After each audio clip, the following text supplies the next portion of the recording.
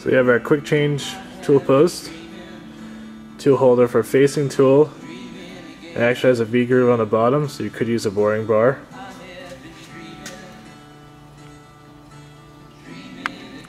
Knurling tool, boring bar set with your boring bar tool holder, cutoff tool holder, and facing tool. Will also come with 3 8 shank assortment of brazed carbide cutting tools.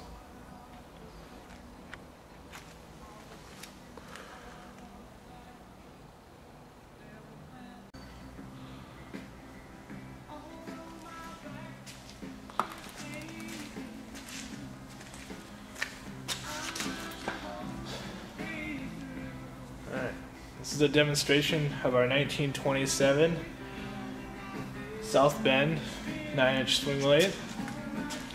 We have it set up on two sawhorses for demonstration purposes only. Um, probably wouldn't recommend doing this as a permanent option, but to see it run and see it in action, this will, this will suit. The motor come along with this lathe. Could be this Craftsman, not sure. Um, either way, it should be mounted in between centers of the spindle and the pulley in order to make the quick change lever um, work. In this case, it's fixed mount on the backside, so therefore I can't change or do any quick changes in the pulley. But for, for uh, demonstra demonstration purposes, this will suit.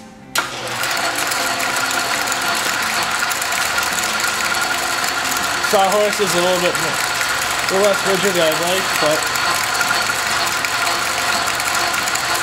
we have this set up with a quick change tool post. We can swap out tool holders. There's five of them included, and some carbide drilling.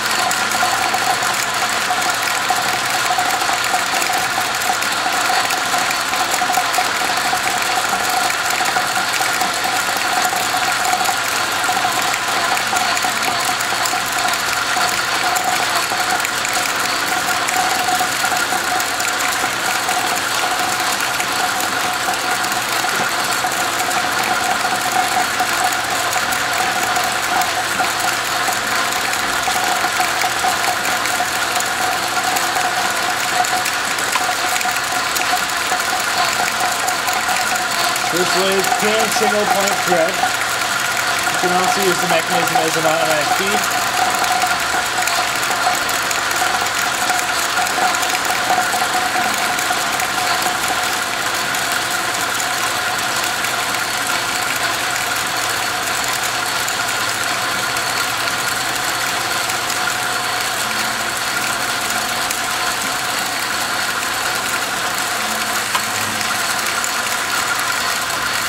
Can also run in the reverse direction.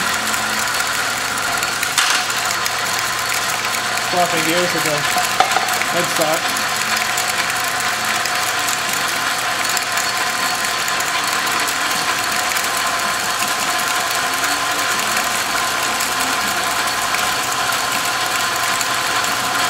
So they can cut the other way.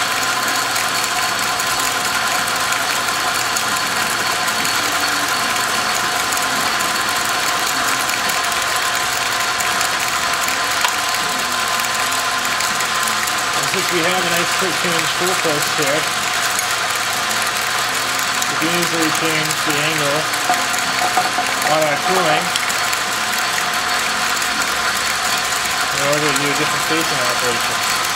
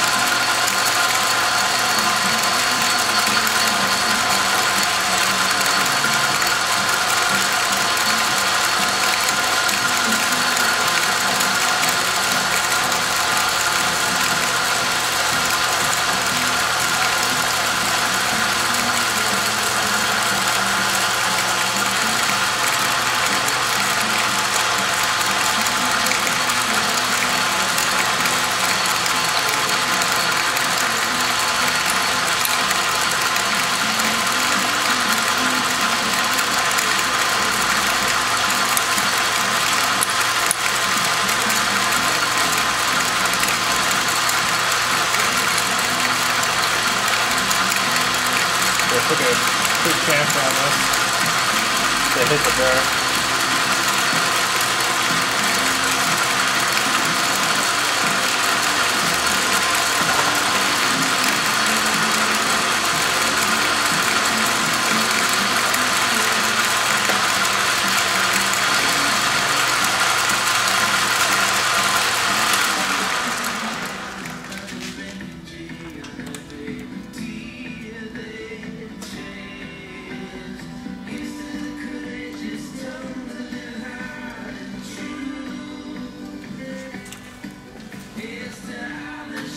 As you can see, the tailstock works perfectly fine. It's a Morse number two taper.